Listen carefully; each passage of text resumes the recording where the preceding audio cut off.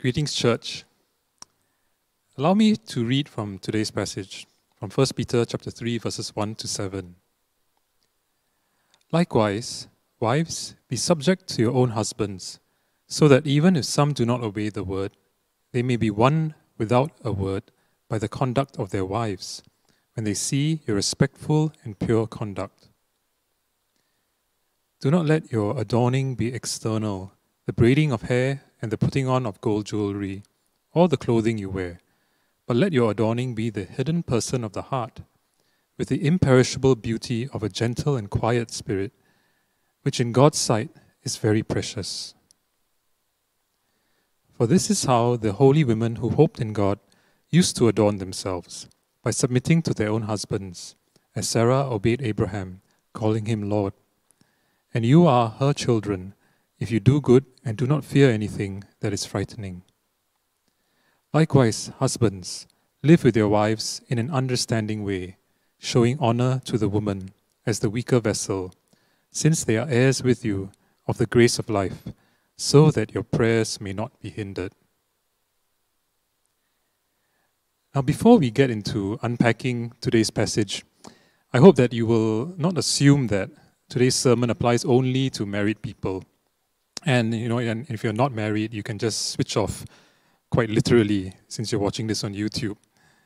But Peter addresses wives in this letter because in their context and culture, most women in the church would have been married. And although that is not necessarily the case today, some of the principles we will look at today do apply to all women. And likewise, although Peter addresses husbands here, all men need to pay attention to what it means to honor and treat women correctly. So allow me to open us in prayer. Lord, we come to you this day looking into your word, seeking to understand, Lord, your call, your will for us as men, as women, as husbands or wives, to understand, Lord, how you have made us to be in your image and what you have called us to be, Lord, and how you want us to live out our relationship with one another. So we commit this time to you. Pray that you will speak to us, Lord, through your word, by your Holy Spirit. In Jesus' name. Amen.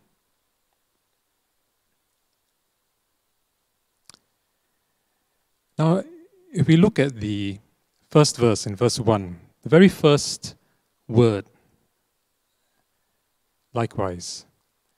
Now, you know, as you learn about uh, how to do Bible study, I remember learning uh, something very, something that, that really um, has, has stayed with me. That's if you see the word therefore at the start of a passage, you have to ask yourself, why, what is it there for? You know, what is it there for? Is it, it's linked to what happens before. Likewise, if you see the word likewise, you should be asking, like, why is this here? So let's look. We need to look at the earlier passages. Just have a quick recap of the earlier passages in 1 Peter chapter 2, which addressed how to live as a Christian in the different areas of our lives that God has ordained, under the authority that God has put in place in each area. We learned about this in the last two sermons preached by Elder Ronald Wong. We learned about how, in our country, as a citizen, what it means to be subject to the authorities that God has put in place. In our workplace, as an employee, what it means to be subject to those over us with all respect. And today we will look at the home, what submission at home looks like in the relationship as husband and wife. And in the subsequent sermon, Pastor Adrian will be looking at the church, what it means to submit to each other and serve each other as brothers and sisters in Christ. And you know, as you look at these four areas or arenas in our life, whether as a citizen of the country or in our workplace or in the home or in the church, we know that the conditions and situations that we face in each of these realms may be far from perfect, and they may be filled with many struggles and even strife. And Peter acknowledges that. Yet in each circumstance, we are called to submit ourselves to the Lord and be subject to the authority structure that He has ordained. As John Piper puts it, submission is a wider Christian value, Christian virtue for all of us to pursue, and it has its unique and fitting expressions in various relationships. So today we're going to look at the relationship that is marriage and the marriage and family relationship that is addressed in today's passage. And Peter first addresses the married women. Now, there's a bit of background that's needed here. It's very likely that as the gospel spread throughout the region, many women put their faith in Jesus and chose to follow him as they heard the good news about Jesus that was preached by whether it was the apostles or the, uh, the disciples or, or, or many others who, who were living out their faith in daily life. But in some cases, these women's husbands had either not heard the gospel or most likely they had chosen, they had heard it but chosen not to respond to the good news. And so they did not obey the word, as verse 1 says. In other words, the husbands remained unbelievers. Now, in some cases, these husbands not only rejected the gospel, but also rejected their wives who had become Christians, and they separated from them. And in 1 Corinthians 7, verse 15, it actually addresses these situations and even giving allowance for separation in such circumstances. But other husbands continued to live with their wives, even though they did not share the same faith. So, how then should these women live out their faith, whether or not their husband was a believer? And that's what verses 1 to 6 address. Now, I've just put them into three very uh, succinct points for us to, to take a look at, give us a broad overview of this passage. Verses 1 to 2 talk about wives being subject to their own husbands, demonstrating respectful and pure conduct. Verses 3 and 4 talk about being adorned, made beautiful from the inside with a gentle and quiet spirit. And verses 5 and 6 talk about doing good and not fearing or being intimidated by anything. So, how is submission to one's husband linked? As we see in verses 1 and 2. How is it linked to respectful and pure conduct?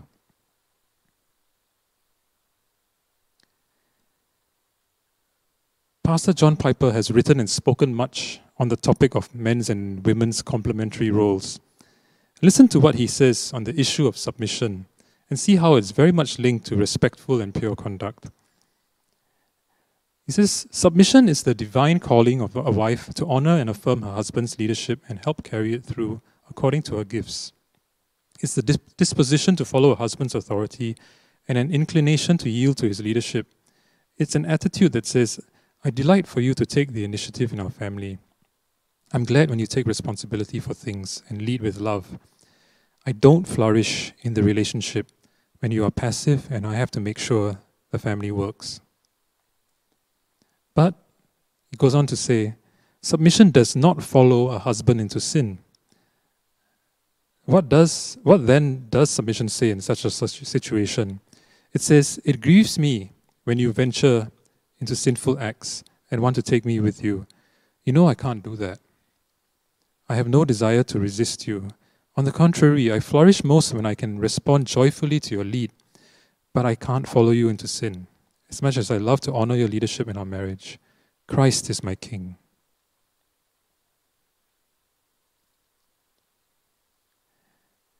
So that's how, even in submitting to the husband, a wife demonstrates respectfulness and, and, and pure conduct. Now, this whole issue of being subject to the husband or, or the issue of submission is one that has been so misunderstood or twisted that John Piper illustrates six more things that submission is not. And this is something that is, I think would be helpful for us to, to take note of. Six things submission does not mean, based on 1 Peter chapter 3, verses 1 to 6. Firstly, submission does not mean agreeing with everything your husband says. You can see that in verse 1. The wife is a Christian and he and the husband is not. He has one set of ideas about about God, about ultimate reality. She has another. Peter calls her to be submissive while assuming she will not submit to his view of the most important thing in the world, which is God.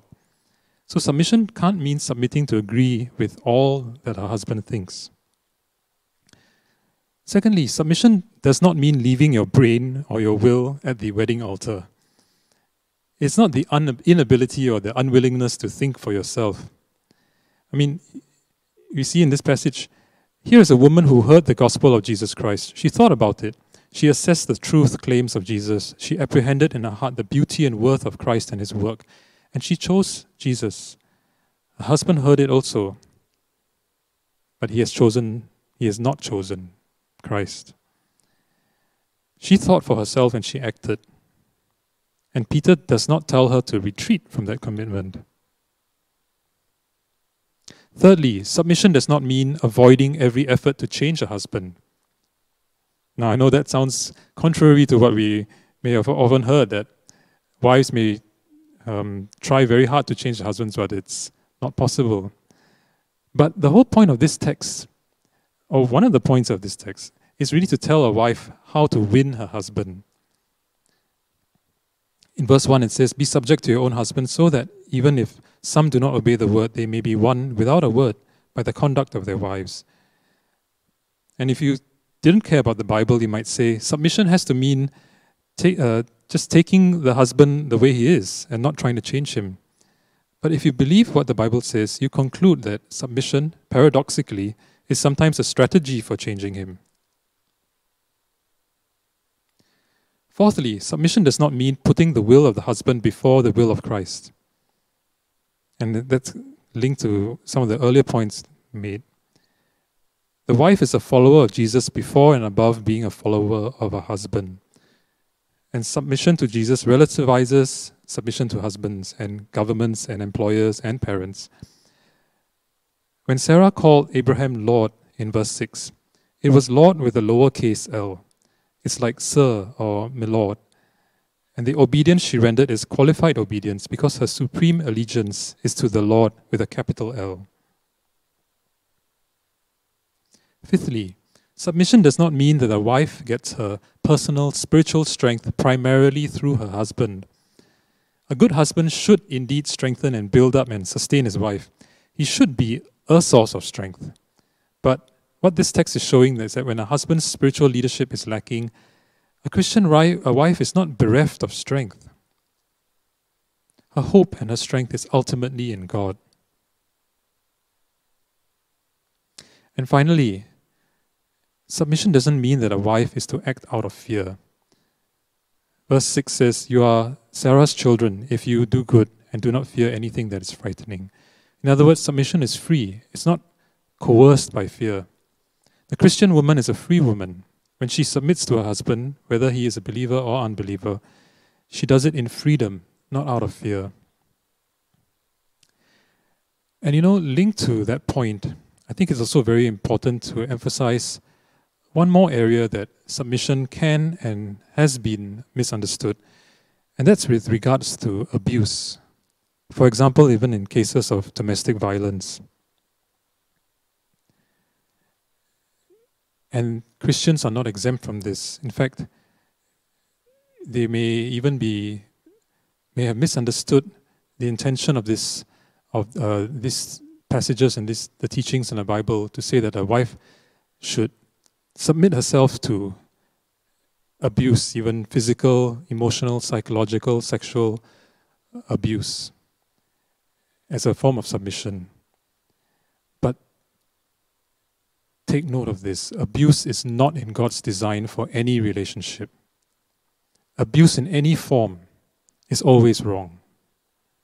We are not called to subject ourselves to abuse or abusive relationships. The abused person should not remain silent or continue on in that situation. She or he, because there are cases also of the, where it is the man that is abused, she or he should seek help. If not addressed, abusive relationships only tend to get worse over time. And there are helplines available. You can refer to the link on screen. And church leaders are also available to help. Because if any of our members are in abusive relationships, all care will be taken to protect the victim's privacy while ensuring their safety. And we will provide pastoral support to connect with professional help and assistance if needed. And if possible, where possible, we will also confront the, the person who behaved in an abusive way. And if they're willing to get help themselves, then to help them manage their anger or emotions or whatever has, has led to that abuse. But if there's a likelihood that the abuse will be repeated, the priority is ensuring that the safety, uh, ensuring the safety and care for those who may be abused, and they should be taken out of the abusive situation as soon as possible. So re- please remember, you are not called to subject yourself to abuse or an abusive relationship, nor should you suffer in silence. Seek help to stop the abuse.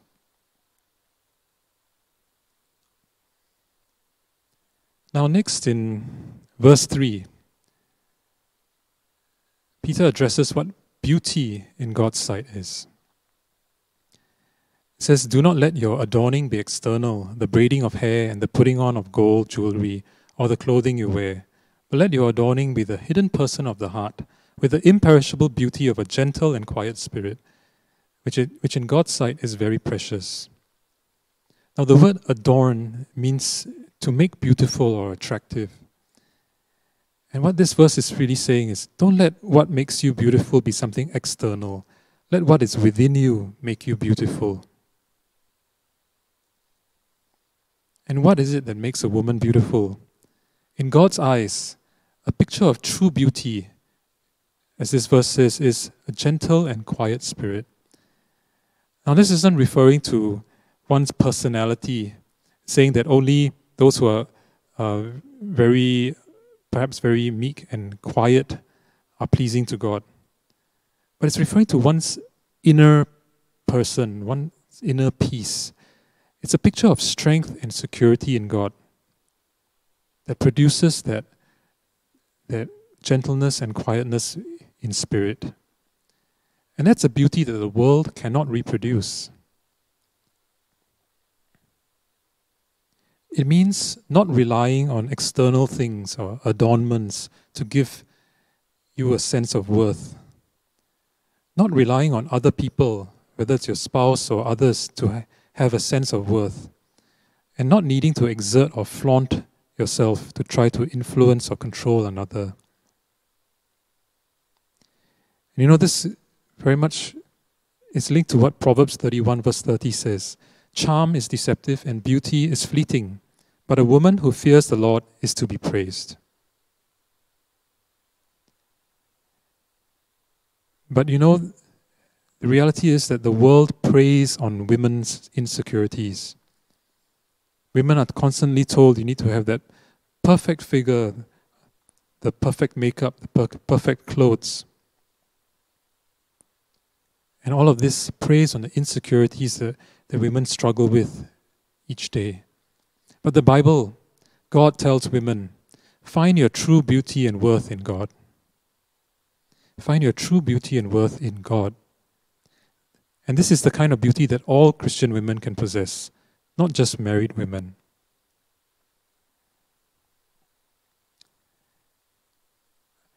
I want to quote something that I read from this Christian author by the name of Abigail Dodds. And she wrote this article called Five Truths for Our Daughters. She was writing to, uh, I think, I believe she has two daughters who are still growing up, and this is something that she, she wants them to know as they grow up. One of the points she says is this Beauty is part of womanhood in a way that isn't part of manhood. It need not be your enemy, nor should it be counted on as a friend. Accept the external beauty God's given you as part of His particular design for you. Give thanks and move on, realizing that it is not the substance of your personhood, but simply a gift. Do not waste your time wishing you were other than you are and dishonoring your Maker. God made you, and He made you beautifully so that He could give us a picture of what He wants our souls to be like. He wants you to cultivate a beautiful spirit spend your time on this, not looking in the mirror. There is only one mirror that will show you yourself. It is the Word of God. Find yourself there. Find yourself hidden in Christ. Find yourself hidden in Christ. And this very much links to what we read next in verses 5 and 6. For this is how the holy women who hoped in God used to adorn themselves, by submitting to their own husbands, as Sarah obeyed Abraham, calling him Lord. And you are her children if you do good and do not fear anything that is frightening. Now, it's very interesting that Peter cites Sarah and Abraham here. Because if we read the story in Genesis, we know that Abraham obeyed God's call to go to the promised land that he had never seen. And Sarah submitted to Abraham, even though Abraham wasn't perfect. And he made some questionable decisions along the way. And Sarah must have had to face many uncertainties and fears. But in the end, she didn't put all her faith and hope in Abraham, but in God. And she did not let her uncertainties and fears intimidate or stop her. And in the end, her faith and hope in God was proven true when God redeemed her and, Abraham out of different challenging and frightening situations.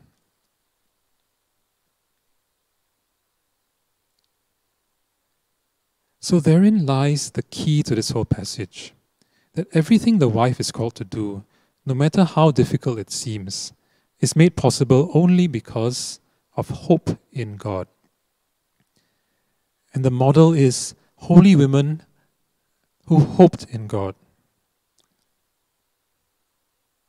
who were subject to their own husbands, demonstrating respectful and pure conduct, who, because of that hope in God, were made beautiful from the inside with a quiet, with a gentle and quiet spirit. And because of that hope in God, could do good and not be fearful or intimidated by anything. That is the key. Hope in God.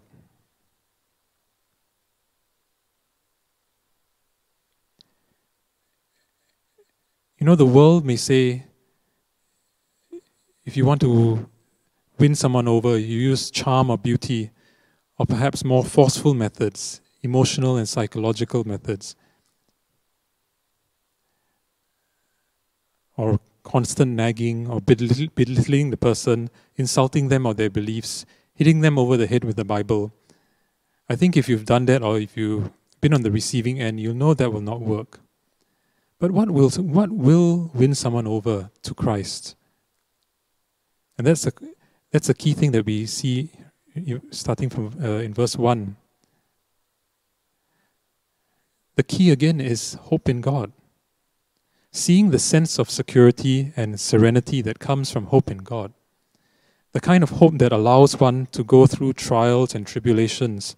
The kind of hope that produces fearlessness and quiet confidence in God, as opposed to a constant state of anxiety.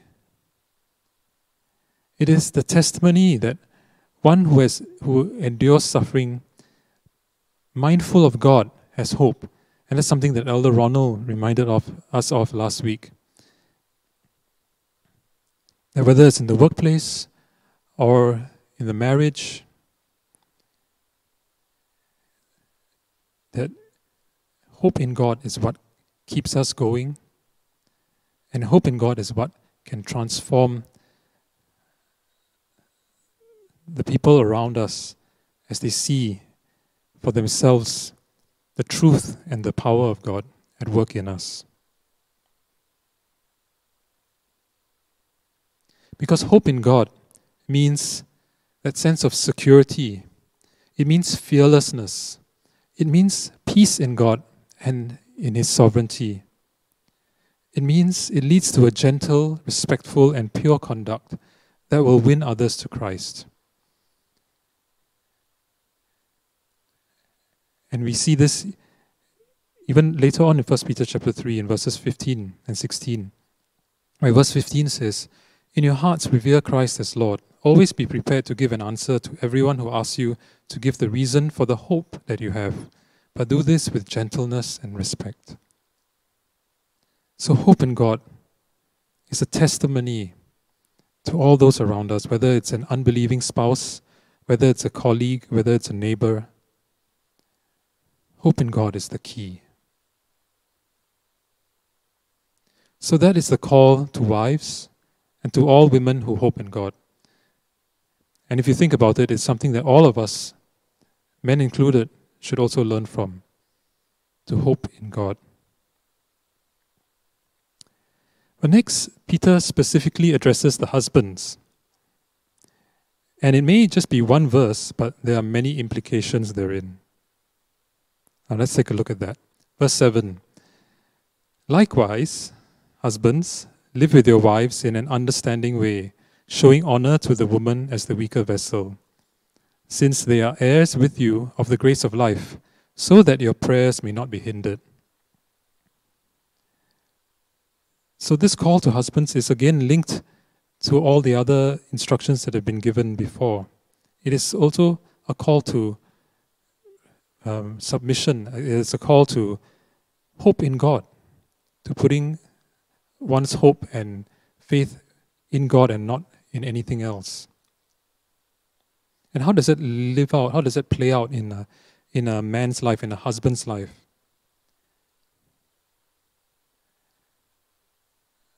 That's what this verse is, is, is saying. And I believe this is a wake up call for husbands and men in general. Because I believe that many of us, for many of us, the women in our lives are incredibly strong and competent.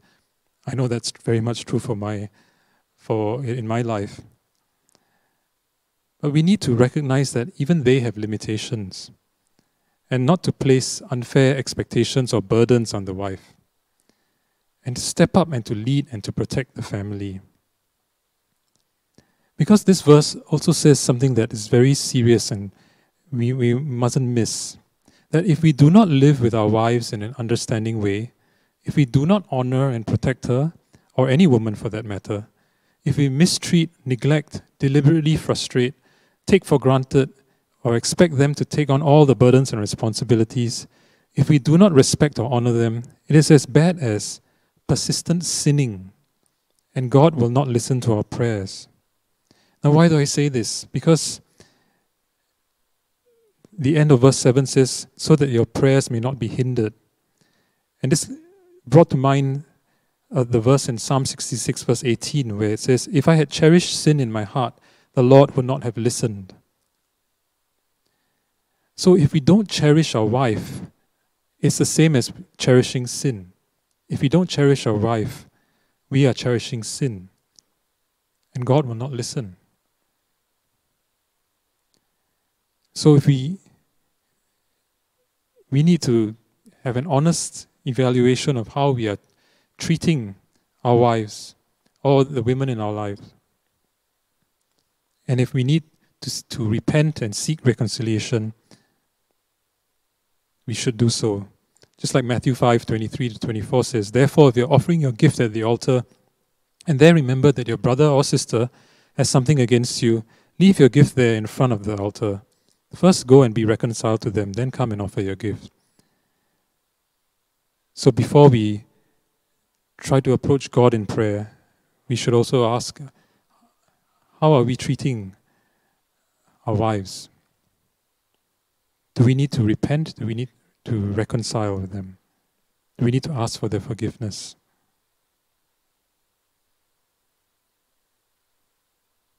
I just want to share some more points that um, talk about what it means to be a mature masculine leader. What, what mature masculine leadership looks like, in the words of John Piper. It serves and sacrifices for a woman's good. A man is called to lead a woman by serving her, not demanding to be served. It points the woman to Christ, to the woman to Christ. The husband's role is to help the wife learn to depend on Christ. And it makes the most of others' strengths. A godly leader doesn't try to demonstrate his own superiority. Instead, he brings out the strengths of others. A man should treat his wife like a fellow heir, just like verse 7 says, a co heir in Christ. A man should treat his wife like a fellow heir, not like a servant or a child. And a man also should take the general responsibility to initiate. And now, general is the key word here, because in some areas the wife will take the initiative according to her gifts. The man, however, has the general responsibility for his family's spiritual welfare. He's not to be passive while his wife shoulders the burden.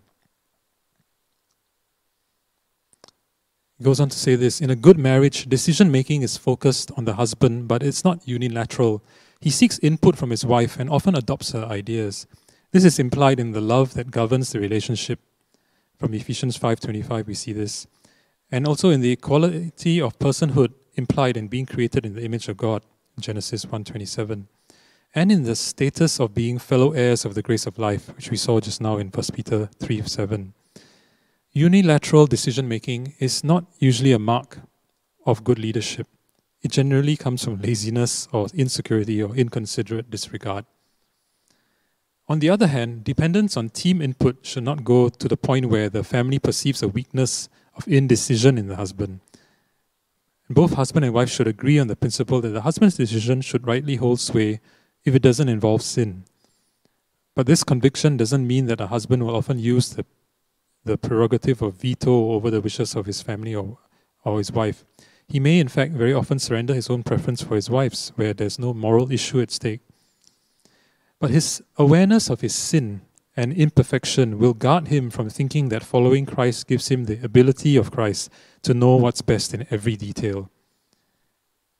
Nevertheless, in a well ordered biblical marriage, both husband and wife acknowledge in principle that, if necessary, in some disagreement, the husband will accept the final, the burden of the, making the final choice. The husband will accept the burden of making the final choice. That is a heavy responsibility that we cannot take lightly as men. And so we should humble ourselves before God for our failures and for the remaining tendency that we have to shirk or overstep our responsibilities. The call to leadership is not a call to exalt ourselves over any woman. It's not a call to domineer or belittle or put woman in her place. She is, after all, a fellow heir of God and destined for a glory that will one day blind the natural eyes of every man. Call to leadership is a call to humble oneself and take the responsibility to be a servant leader in ways that are appropriate to every different relationship to women. It's a call to risk getting egg on our faces, meaning, you know, making mistakes, to pray as we've never prayed before, to be constantly in the Word, to be given, to be more given to planning, more intentional, more thoughtful, less carried along by the mood of the moment, to be disciplined and ordered in our lives, to be tender hearted and sensitive, to take the initiative to make sure there is a time and place to talk to her about what needs to be talked about, and to be ready to lay down our lives the way Christ did if that is necessary. So we see here from this whole passage the call to be a godly wife or a godly husband is a weighty one. And it can and often will feel overwhelming. But the key remains the same to put our hope in God that He is sovereign over our relationship and our lives. That if and when we stumble and fall or get lost along the way, He is there to help us get up and carry on. And that as we continue to put our hope in Him, He will transform us from the inside out. And in so doing, our marriage and family life too will be transformed. Let us pray.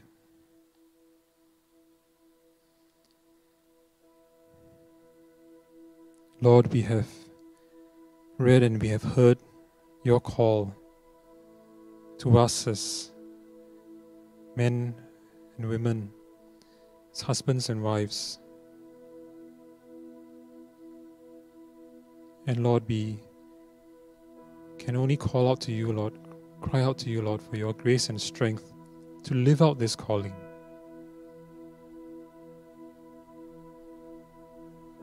to remember that all of this is only possible if we constantly have in mind our hope in you. That this is not possible on our own strength, using our own methods, using the ways of the world, but it is only possible by your grace, by the empowerment of your Holy Spirit.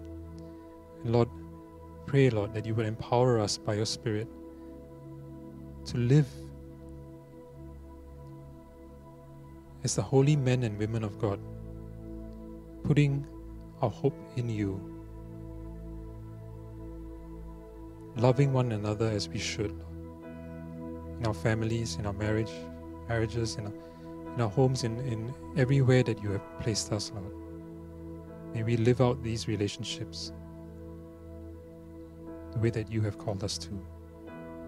We pray this in Jesus' name. Amen.